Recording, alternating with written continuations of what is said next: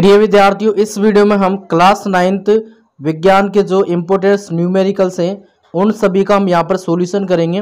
तो देखिए, सबसे पहला हमारा ये न्यूमेरिकल्स है कि एक बस की गति पाँच सेकंड में अस्सी किलोमीटर पर हाउस से घटकर साठ किलोमीटर पर हाउस हो जाती है।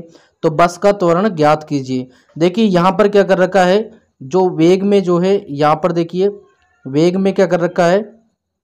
यहाँ पर इसने कमी कर रखी है, यानी कि वेग में परिवर्तन हो रहा है तो इसने पूछा है बस का त्वरण। तो देखिए इसको कैसे ज्ञात करेंगे? सबसे पहले हम देखिए प्रारंभिक वेग देखेंगे। क्या दे रखा है? अस्सी किलोमीटर पर हावर्स। तो पर किलोमीटर को पहले हम मीटर पर सेकंड में बदलेंगे, क्योंकि हमारा त्वरण क्या आएगा? मीटर पर सेकंड स्क्वायर में आएगा। तो यहाँ से देखिए हम अस्सी में क्या करेंगे? किलोमीटर है तो किलोमीटर को मीटर में कैसे बदलेंगे? देखिए, इसको कर देंगे हम अस्सी हज़ार। क्या कर देंगे? अस्सी हज़ार कर देंगे। और बटे में देखिए, ये जो हावर्स है, इसको देखिए, सेकंड में कैसे बदलेंगे? सिक्स साठ इंटू साठ। क्लियर? देखिए, हावर्स का मिनट बदला साठ और साठ को मिनट में बदलेंगे तो सेकंड से हम इसको गुणा कर देंगे साठ से। तो साठ इंटू साठ। तो इस तरह से देखिए, इसके बाद देखिए, दो ज़ीरो से ये दो ज़ीरो कट जाएगा और नीचे छः को छः से गुणा करेंगे तो छत्तीस आएगा। यानी कि आठ सौ बटे में जो है छत्तीस मीटर पर सेकंड। क्लियर? इसी तरह से अंतिम वेग को चेंज कर लेंगे। तो ये भी किया जाएगा छः सौ बटे छत्तीस मीटर पर सेकंड। अब देखिए, लिया गया समय कितना है? पाँच सेकंड है। तो देखिए, त्वरण कैसे याद करते हैं? अंतिम वेग माइनस प्रारंभिक वेग बटे में लिया गया समय। तो यहाँ से देखिए, ये हमारा अंतिम वेग है, ये प्रारंभिक वेग है और बटे में ये समय है। तो यहाँ से देखिए, जब हम ऊपर वाली संख्या को सोल्व करेंगे तो कितना आएगा? माइनस दो सौ बटे में छत्तीस। कैसे आ देखिए, यहाँ पर हम एलसीएम लेंगे, दोनों का तो छत्तीस का एलसीएम छत्तीस ही आएगा, और छत्तीस का छत्तीसों भाग एक बार तो छः सौ, और इधर क्या आ जाएगा, माइनस आठ सौ। तो देखिए, बड़ी संख्या किसकी है, माइनस की है तो यहाँ से ये माइनस का दो सौ आ जाएगा। और बटे में है पाँच तो पाँच इस छत्तीस से क्या होगा, गुणा होगा तो इसके बाद देखिए ये कट जाएगा तो यहाँ से देखिए ऊपर तो बचेगा दस, और बटे में आएगा नौ। इसको हम क्या लिख सकते हैं, माइनस एक से ही एक बटा नौ मीटर पर सेकंड स्क्वायर। अतः बस का त्वरण क्या होगा? माइनस एक से ही एक बटे नौ मीटर पर सेकंड स्क्वायर। इस तरह से इसको करेंगे। इसके बाद अगला क्वेश्चन है। अगला न्यूमेरिकल है हमारा। एक ट्रॉली का, एक ट्रॉली, एक आनत तल पर दो मीटर पर सेकंड स्क्वायर के त्वरण से नीचे जा रही है और गति प्रारंभ करने के तीस सेकंड के पश्चात उसका वेग क्या होगा?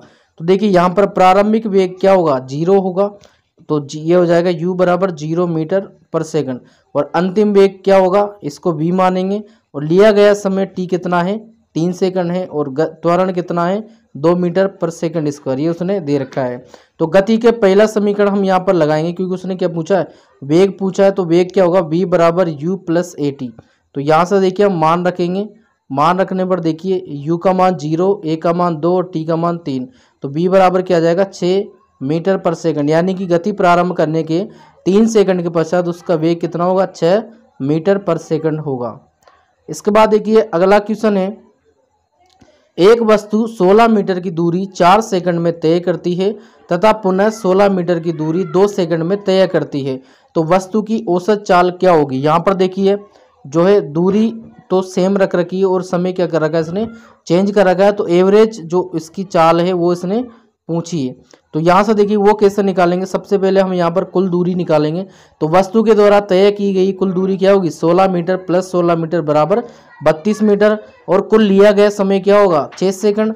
तो औसत चाल क्या होती है?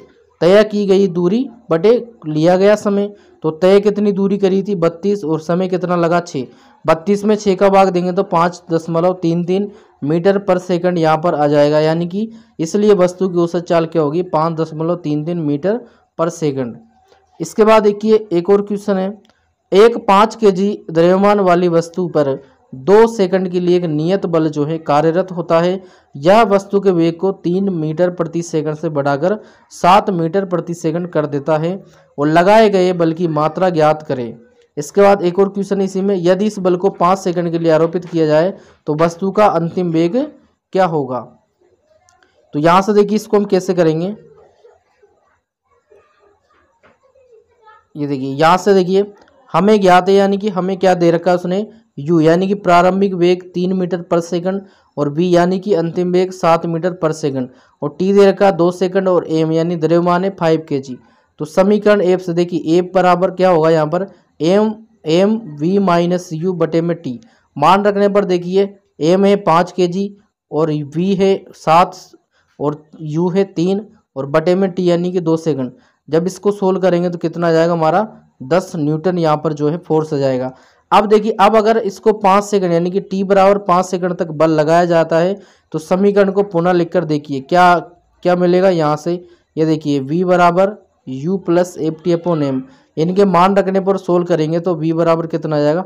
तेरह मीटर पर सेकंड। इसके बाद नेक्स्ट न्यूमेरिकल है कि एक वस्तु का द्रव्यमान 10 किलो किलोग्राम है तो पृथ्वी पर इसका भार कितना होगा? देखिए इंपॉर्टेंट है, इसको आप ज़रूर करके जाएँ। तो यहाँ पर देखिए, इसने पूछा है कि एक वस्तु का द्रव्यमान 10 किलोग्राम है तो पृथ्वी पर इसका भार कितना होगा? तो देखिए, द्रव्यमान है एम बराबर टेन के जी और गुरुत्वीय त्वरण जी बराबर, देखिए, ये होता है 9.8 मीटर पर सेकंड स्क्वायर ये फिक्स है। तो गुरुत्वीय त्वरण का मान, इसको आप याद कर लेना। इसके बाद देखिए डब्ल्यू बराबर, इसने पूछा है बाहर तो डब्ल्यू बराबर होता है एम इंटू जी तो एम है दस और जी है नाइन पॉइंट एट तो यहाँ पर डब्ल्यू बराबर कितना आ जाएगा? अंठानवे न्यूटन, यानी कि उस वस्तु का पृथ्वी पर भार कितना है? अंठानवे न्यूटन है। इसके बाद देखिए, एक और क्वेश्चन है कि एक वस्तु का भार पृथ्वी की सतह पर मापने पर 10 न्यूटन आता है तो इसका भार चंद्रमा की सतह पर मापने पर कितना होगा? ये क्वेश्चन में इसने पूछा है तो यहाँ पर देखिए, हमें पता है, हमें ज्ञात है कि चंद्रमा पर जो वस्तु का भार होता है, वो एक बटा छः इंटू पृथ्वी पर इसका भार, यानी कि जो पृथ्वी पर भार होगा, उसका एक बटा छः जो है चंद्रमा पर होता है। तो वो कैसे निकालेंगे? देखिए, अर्थात डब्ल्यू एम बराबर डब्ल्यू ई बटे में छः तो डब्ल्यू ई कितना दे रखा है? दस दे रखा है और बटे में छः न्यूटन। तो दस में छः का भाग देंगे तो एक दशमलव छः सात न्यूटन अपना आंसर आएगा, यानी कि अतः चंद्रमा की सतह पर वस्तु का भार एक दशमलव छः सात न्यूटन होगा। इसके बाद देखिए, अगला क्वेश्चन है, अगला क्वेश्चन है कि उन्नीस दशमलव छः मीटर ऊँची एक मीनार की चोटी से एक पत्थर जो है छोड़ा जाता है। तो पृथ्वी पर पहुँचने से पहले अंतिम वेग जो इसका ज्ञात कीजिए। तो देखिए, यहाँ पर इसका प्रारंभिक वेग तो कुछ है ही नहीं, यानी कि ज़ीरो है। देखिए पत्थर का आरंभिक वेग, यानी कि प्रारंभिक वेग u बराबर ज़ीरो है। ऊंचाई दे रखी है उन्नीस पॉइंट छः मीटर और त्वरण nine point eight metre per second square. ये कौन सा है? गुरुत्व त्वरण, यानी कि जी का मान है। तो माना पृथ्वी पर पहुँचने से पहले अंतिम वेग कितना था? वी मीटर प्रति सेकंड था। तब गति के तीसरे समीकरण से क्या आएगा? देखिए कौन कौन चीज़ें दे रखी ये लगेंगी। पी स्क्वायर बराबर U square plus two A H तो वी स्क्वायर बराबर यू ज़ीरो है और टू ए कितना है? नाइन पॉइंट आठ एच कितना? उन्नीस दशमलव छः तो यहाँ पर देखिए तो ज़ीरो हो जाएगा। इन तीनों को गुणा करेंगे तो यहाँ पर देखिए, इन दोनों को गुणा करेंगे तो उन्नीस पॉइंट छः इधर भी उन्नीस पॉइंट छः तो इन दोनों को ये गुणा करने पर देखिए, दोनों एक जैसी संख्या और ऊपर वर्गमूल है, क्योंकि इसका स्क्वायर हटेगा तो इधर वर्गमूल आएगा। तो दोनों एक जैसी संख्या है तो इसका वर्गमूल यही हो जाएगा, यानी कि उन्नीस दशमलव छः मीटर पर सेकंड। यानी कि जो है, पृथ्वी पर पहुँचने से पहले पत्थर का अंतिम वेग होगा उन्नीस दशमलव छः मीटर पर सेकंड। इसके बाद देखिए नेक्स्ट क्वेश्चन है कि एक कुली 15 किलोग्राम का बोझ धरती से 1.5 मीटर ऊपर उठाकर अपने सिर पर जो है रखता है तो उसके द्वारा बोझे गए कार्य का परिकलन कीजिए, यानी कि उसके द्वारा बोझे पर किए गए कार्य का परिकलन कीजिए। तो यहाँ से देखिए, बोझ का द्रव्यमान दे रखा एम बराबर पंद्रह के और विस्थापन दे रखा वन पॉइंट फाइव एम तो किया गया कार्य क्या होता है? डब्ल्यू बराबर बल इंटू विस्थापन। तो बल क्या आएगा? यहाँ पर एम जी आएगा इंटू एस इस तरह से हम इसको करेंगे। तो देखिए एम जी एम कितना हमारा पंद्रह है। जी का मान है हमारा दस और ए से हमारा वन पॉइंट फाइव। तो यहाँ पर देखिए इसमें करेंगे फिर 225 ये गुणा करेंगे तो पूरा गुणा करेंगे तो यहाँ जाएगा 225 मीटर पर सेकंड स्क्वायर और मीटर। तो यहाँ से देखिए हम क्या जाएगा 225 न्यूटन मीटर, यानी कि 225 जूल। अर्थात कुली द्वारा बोझे पर किया गया कार्य 225 जूल है। अगला क्वेश्चन है हमारा कि 15 के जी द्रव्यमान की एक वस्तु 4 मीटर पर सेकंड स्क्वायर, पर सेकंड के एक समान वेग से गतिशील है। तो वस्तु की गतिज ऊर्जा कितनी होगी? यहाँ पर देखिए क्या बोला है कि पंद्रह किलोग्राम द्रव्यमान की कोई वस्तु है जो कि चार मीटर पर सेकंड के वेग समान वेग से गतिशील है तो उसकी गतिज ऊर्जा हमें ज्ञात करनी है। तो देखिए ये कैसे करेंगे गतिज ऊर्जा? यहाँ से देखिए हमें क्या क्या दे रखा है। वस्तु का द्रव्यमान दे रखा है एम बराबर पंद्रह के और वस्तु का वेग दे रखा है बी बराबर चार मीटर पर सेकंड। तो गति के, यानी कि जो गतिज ऊर्जा होती है वो हमारी होती है ई e के बराबर एक बटा दो एम बी स्क्वायर तो एक बटा दो और एम हमारा पंद्रह है, बी स्क्वायर यानी कि चार इंटू चार। तो देखिए, दो से ये चार दो बार कट जाएगा और ये आठ आएगा, दो को चार से गुणा करेंगे तो और आठ को पंद्रह से गुणा करेंगे तो एक सौ बीस। जूल हमारा आंसर आएगा, यानी कि वस्तु की गतिज ऊर्जा कितनी है, एक सौ बीस जूल है।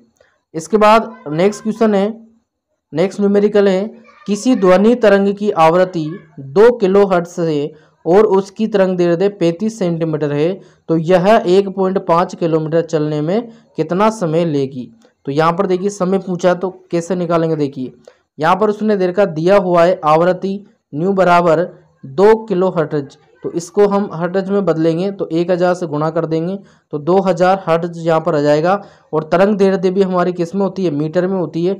तो सेंटीमीटर है पैंतीस तो इसमें सौ का भाग देंगे तो क्या आएगा? ज़ीरो दशमलव तीन पाँच मीटर ये तरंग दैर्ध्य आ जाएगी। तो हम जानते हैं कि तरंग वेग क्या होता है? तरंग देर दैर्ध्य इंटू आवर्ती, यानी कि तरंग दैर्ध्य और आवर्ती को हम क्या कर देंगे? गुणा कर देंगे। तो देखिए, इन दोनों को हम गुणा करेंगे तो कितना आएगा? 700 मीटर पर सेकंड। तो अब देखिए, यहाँ पर तरंग को जो है 1.5 किलोमीटर दूरी तय करने में लगने वाला समय क्या होगा? देखिए, समय बराबर होता है दूरी बटे चाल। तो दूरी देखिए, दूरी बटे चाल होता है। तो दूरी देखिए हमारे कितनी है?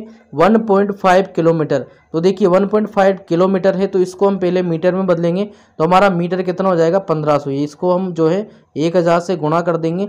और इसके बाद देखिए, बटे में जो हमारी वेग था वो कितना है? 700 है। तो 1500 में जब हम 700 को भाग देंगे तो कितनी बार जाएगा?